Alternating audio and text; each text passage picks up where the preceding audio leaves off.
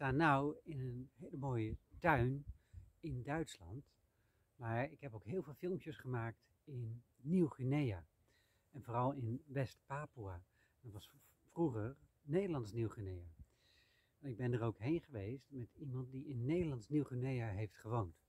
En voor de rest ben ik er, ik ben er zes keer geweest. Ik ben heel vaak geweest. En elke keer vijf tot zes weken. Dus in totaal ben ik er bijna een jaar geweest. En ik heb er ook allerlei medicinale plantenwandelingen gedaan.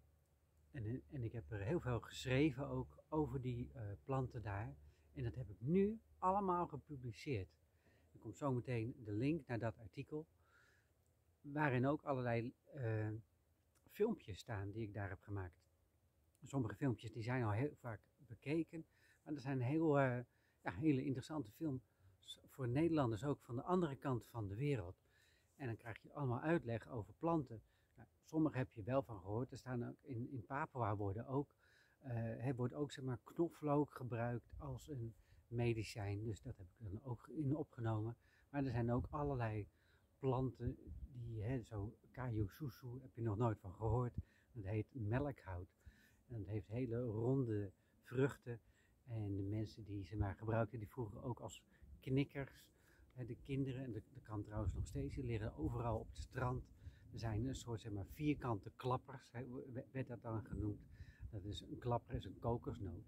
Maar een vierkante klapper, dat, dat is een soort vrucht, een soort, zeg, echt een doos die je niet kan eten, maar die wel medicinaal wordt gebruikt. Nou, zo heb ik allerlei planten daar uh, ontdekt. En ik heb met iemand van de universiteit daar heb ik uh, de Latijnse namen van al die planten die, die gewoon mensen in de omgeving mij hebben verteld.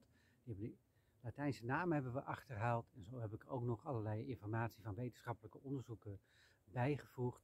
En er staat ook bijvoorbeeld een filmpje bij dat ik met, uh, met een vrouw loop ik naar een kurkuma plant. En dan zegt zij van nee, we kunnen die bladeren van, van die kurkuma, die zijn ook geneeskrachtig.